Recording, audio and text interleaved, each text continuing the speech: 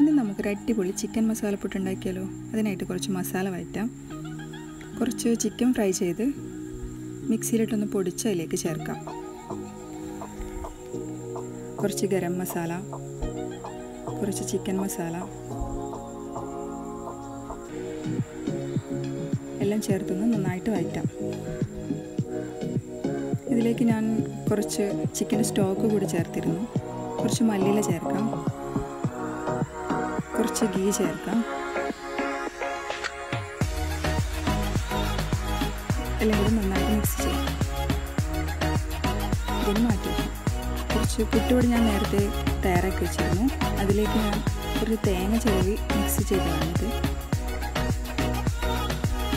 ഇതിന് സാധാ പുട്ടുണ്ടാക്കുന്ന മാതിരി തന്നെ നമുക്ക് അതിലേക്ക് ഇങ്ങനെ അടുക്കി വെക്കാം. ഫസ്റ്റ് പുട്ടുപൊടി അതിനുശേഷം കുറച്ച് മസാല കുറച്ച് ചുക്കുപൊടി അങ്ങനായിട്ട് വെച്ച് കൊടുക്കാം നന്നായിട്ട് ആവി വരുന്നവരെ വെയിറ്റ് ചെയ്യാം.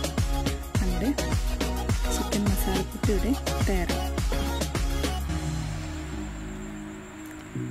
Yummy tasty മസാലപ്പുട്ടാണിത്